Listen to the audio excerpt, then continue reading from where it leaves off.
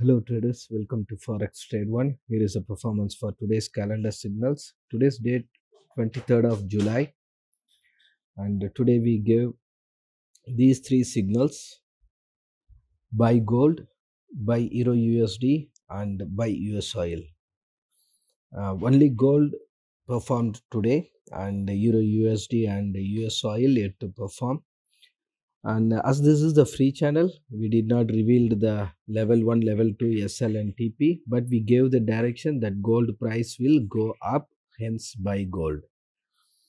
And here and this is the signal posted time at 5:45 am gmt as per the gmt timeline 5:45 am we posted the signals.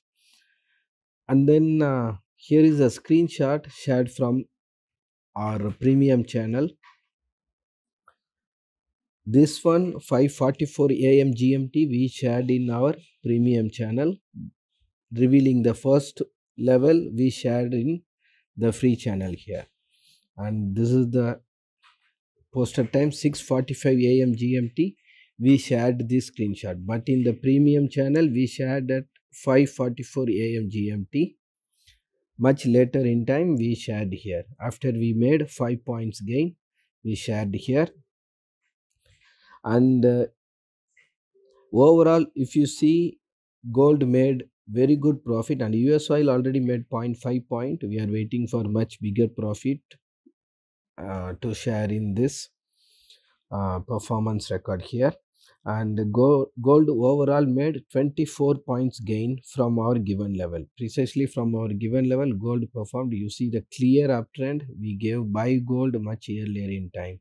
And we gave the level 1 level 2 sltp all the details to our premium clients at 5:44 am gmt so if you want to get the signals much earlier in time and you want to know more details about our premium subscription you can ask us. Our support team will assist you and uh, clear your doubts. If you are watching us closely you notice that gold is consistently making good profit for our for our for our followers here.